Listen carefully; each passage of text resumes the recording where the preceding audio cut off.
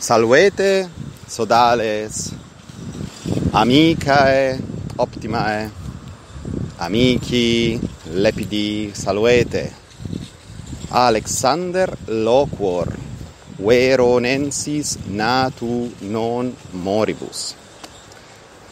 Gratulor vobis amici amicaeque quod tam bellam linguam tam pulcrum ediucundum sermonem ad discere coepistis. Gaudeo quod hanc meam vocem auscultetis quia vultis aliquid facile aliquid novi cotidie auscultare. Haec est via optima qua post non multum temporis poteritis. Aliquid facile et pulcrum etiam legere latine.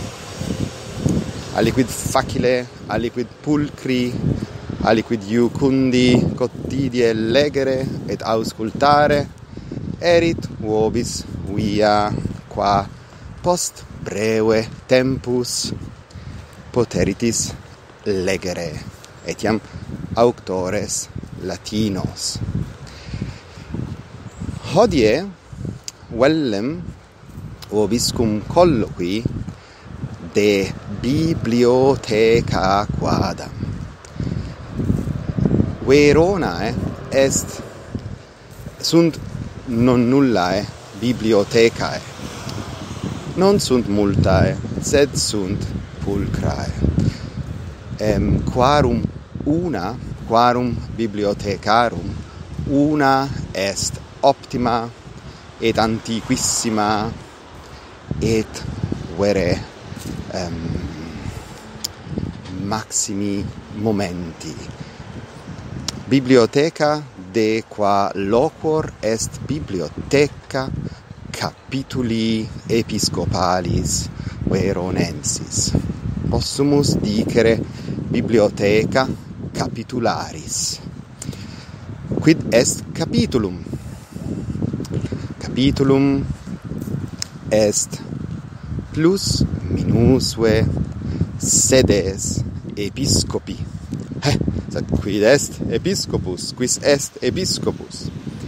Episcopus est sacerdos Christianus qui est fere caput ecclesiae urbis. Episcopus veronensis est caput ecclesiae veronensis. Episcopus uh, mediolanensis est caput ecclesiae mediolanensis. Episcopus florentinus est caput ecclesiae florentina episcopus Romanus est pontifex. Bene. Sed nunc iam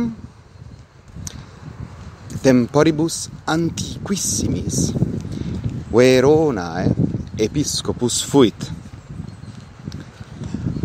ab hinc fere mille et ab incfere mille et quingentos annos Verona episcopum habuit. Et ille episcopus dixit in urbe mea volo maximam bibliothecam habere.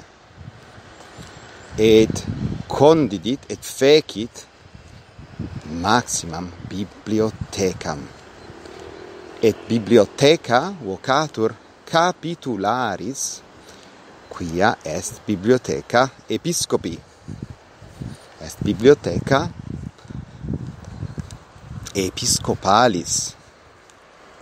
Bene sed cur bibliotheca capitularis est tam pulcra est tam tam iucunda quia hic Veronae eh, in hac bibliotheca conservantur multi codices antiquissimi. Sunt multi codices quibus scriptores Romanis continentur. Sunt multi codices vetustissimi et hic in hac bibliotheca Franciscus Petrarca saeculo decimo quarto invenit epistulas familiares marquis Tulli Ciceronis Franciscus Petrarca Veronae, saeculo decimo quarto primus invenit epistulas familiares. Epistulae familiares sunt opus pulcherrimum Ciceronis et hic Veronae conservabatur liber poetae Catulli dami basia mille dende centum den mille altera den secunda centum. Hic veronae unus liber Catulli inventus est. Hic episcopus veronensis saeculo fortasse septimo conservavit unum librum poetae eh, Valerii Catulli quod est maximum nam sine illo libro conservato ab episcopo Veronensi hodie non haberemus Carmina Catulli hic Veronae conservatus est. Liber epistularum Ciceronis et liber poetae Catulli. Duo libri maximi momenti duo libri pulcherrimi duo libri quos nos omnes latinitatis fautores amamus. Ego multum amo Catullum. Mihi placet Catullus.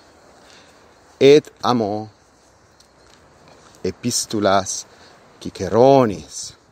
Epistulae Ciceronis multum placent. Gratias ago. Episcopo Veronensi qui bibliothecam capitularem condidit.